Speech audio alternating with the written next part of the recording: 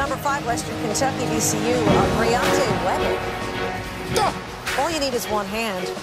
VCU wins 76 to 44.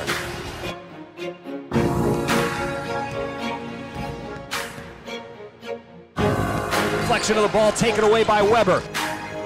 And Weber gets the inbounds pass. And Double team the steal to Weber. Weber in. Weber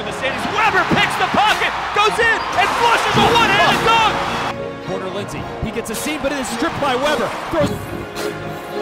Weber then steals it. That's his third. That should tie the record. 258, and that brings Rolando Lamb's longtime record.